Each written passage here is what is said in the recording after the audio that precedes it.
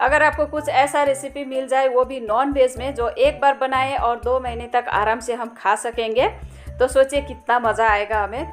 तो आज के वीडियो में ऐसा ही कुछ रेसिपी दिखाया है मैंने वीडियो पे बने रहे। Hello everyone welcome back to ऑक्सीनी kitchen मैं हूँ कविता। तो चलिए शुरू करते हैं आज का हमारा रेसिपी रेसिपी शुरू करने से पहले फ्रेंड्स अगर आपको आज का वीडियो पसंद आए तो वीडियो को लाइक कमेंट और सब्सक्राइब भी ज़रूर कर दीजिएगा। तो चलिए शुरू करते हैं। तो आज का रेसिपी के लिए यहाँ पे मैंने 500 ग्राम चिकन लिया है। आपको जो मीट पसंद है वो ले सकते हैं, लेकिन इसको मैंने एक घंटा पहले थोड़ा सा नमक डाल के मैरिनेट करके रख दिया था। इसके कारण इसका सारा पानी निकल गया है। अब इसको छोटा छोटा पीस में हम लोग काट लेंगे। ये देखिए मैंने सारा चिकन का पीसेस कर लिया है। आप इस रेसिपी में अपने मनपसंद का मीट भी ले सकते हैं, कोई प्रॉब्लम नहीं होगी। रेसिपी एज इट इज़ रहेगी। तो अभी चिकन को रख देते हैं साइड में। चलिए मसाला तैयार कर लेते हैं। इसके लिए मैंने कढ़ाई गरम कर लिया है और एक चम्मच मेथी डाल दिया है। अब हम डालेंगे दो चम्मच जीरा का दाना।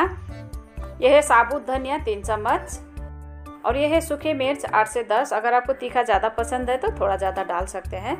और पाँच इलायची डाल दिया है मैंने, एक चम्मच सौंप और एक चम्मच अजवाइन डाला है। यह है काली मिर्च, पंद्रह से बीस काली मिर्च है।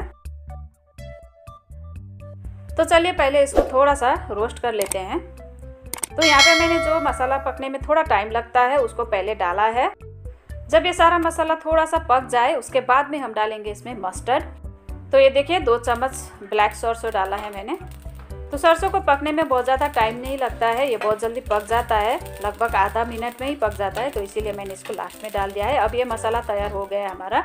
तो चलिए मसाला को निकाल लेते हैं एक प्लेट में और इसको ठंडा होने के लिए छोड़ देते हैं। जब ये कम्प्लीटली ठंडा हो जाएगा, उसके बाद ही हम इसको पीसेंगे। तो चलिए इससे आगे का प्रोसेस करते हैं। तो ये देखिए, कढ़ाई गरम कर लिया है। अब डाल देंगे रिफाइंड ऑयल जैसे ही तेल गरम हो जाए, उसके बाद हम डाल देंगे ये हमारा काट के रखा हुआ चिकन।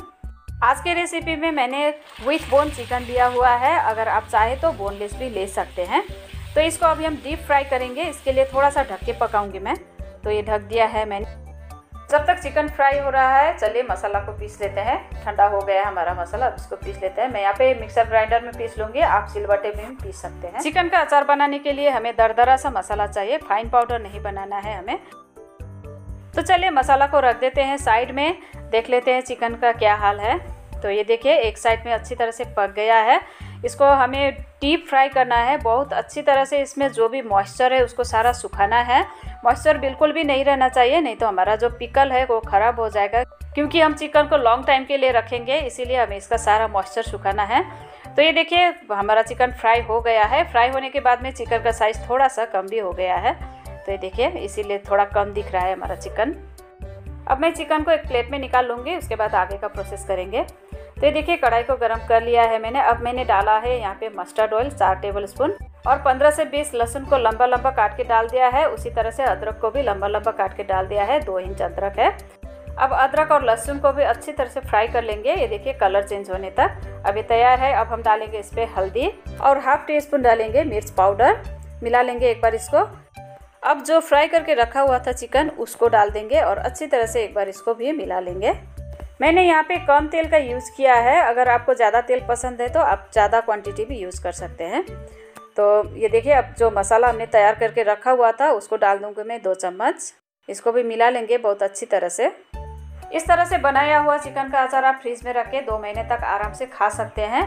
ज़्यादा लंबे समय तक खाना है तो आप तेल की क्वांटिटी को थोड़ा बढ़ा दीजिएगा तो ये अच्छी तरह से प्रिजर्व हो जाएगा।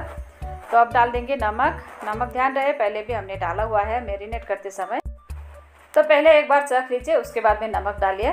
बहुत ज़्यादा हो गया तो फिर टेस्ट खराब हो जाएगा। तो यहाँ पे खट्टापन के लिए मैं डाल दूँगी अमचूर पाउडर हाफ़ टी स्पून क्योंकि चिकन कम है तो मैं इसीलिए बहुत ज़्यादा नहीं डाल रही हूँ। अगर आप ज़्यादा खट्टा खाना पसंद करते हैं तो आमचूर पाउडर एक चम्मच डाल दीजिएगा।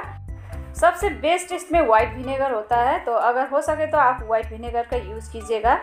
दो छोटा चम्मच वाइट विनेगर डाल दीजिएगा, बहुत ही अच्छा टेस्ट आता है। क्योंकि मुझे थोड़ा सा हेल्थ प्रॉब्लम है, ज़्यादा खट्टा खाने से, इसलिए मैंने नहीं डाला है। विनेगर अमचूर पाउडर कुछ भी नहीं है तो चिकन जैसे ही थोड़ा सा ठंडा हो जाएगा, उस समय पर आप दो चम्मच लेमन जूस डाल दीजिएगा, बस हो जाएगा। अब हमारा चिकन का अचार तैयार है, मैंने गैस को ऑफ़ कर दिया है। जब ये कम्प्लीटली ठंडा हो जाएगा, उसके बाद में हम इसको ग्लास के जार में स्टोर करके रख सकते हैं। लेकिन मैं एक बोल में ही सर्व करके दिखाऊँगी आपको।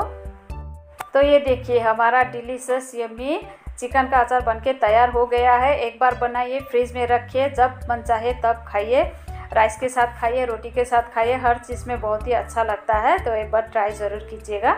इस रेसिपी को एज अ स्टार्टर भी बहुत ही पसंद किया जाता है। तो देखा आपने, हम कितना आसान तरीके से चिकन को पिकल करके रख सकते हैं। तो आप भी इसी तरह से बनाइए और खाइए इंजॉय कीजिए। अगर रेसिपी पसंद आए तो वीडियो को लाइक कमेंट और सब्सक्राइब भी ज़रूर कर दीजिएगा। तो चलिए मिलते हैं नेक्स्ट वीडियो में तब तक के लिए बाय बाय